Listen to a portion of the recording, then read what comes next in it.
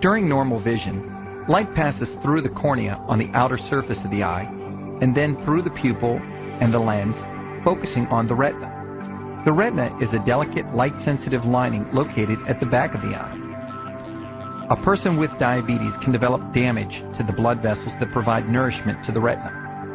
When blood vessels in the retina are damaged, they may leak, swell, or develop brush-like branches and extensions.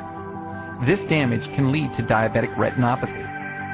People with diabetic retinopathy may experience blurred vision, blank areas, or glare when in bright light. As the disease develops, cloudy vision, blind spots, and floaters may occur.